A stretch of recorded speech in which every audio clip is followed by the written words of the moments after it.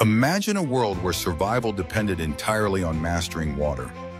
Centuries ago, brilliant minds devised extraordinary ways to bend rivers and coax life from the driest soils. One of the most astonishing feats was the construction of underground channels called qanats. Picture this, a series of gently sloping tunnels, sometimes stretching for miles beneath arid landscapes, quietly delivering cool, fresh water from distant mountains straight into thriving towns. Meanwhile, in other regions, stone aqueducts soared across valleys, their graceful arches carrying water over impossible distances. These structures didn't just quench thirst.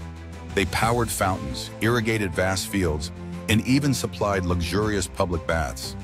The key was gravity. By calculating the perfect slope, engineers ensured water flowed smoothly, without pumps or machines.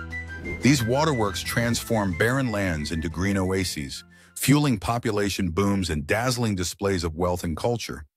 Today, some of these ancient marvels still function, standing as a testament to human ingenuity and our timeless quest to thrive in any environment.